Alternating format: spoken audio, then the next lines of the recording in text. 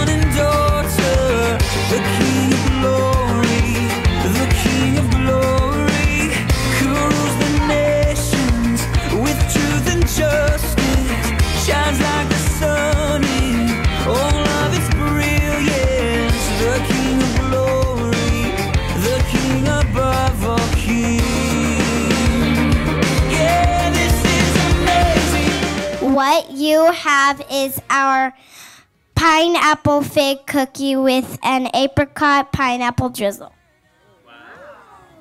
All right. And the grand prize winner for the best overall cupcake. This cupcake to me looked like you could go to Miss Krista's awesome bakery and you would see it right there in the counter. It would look like a totally professional um, cupcake, and that is the s'more. Is it the s'more one? What? Yeah.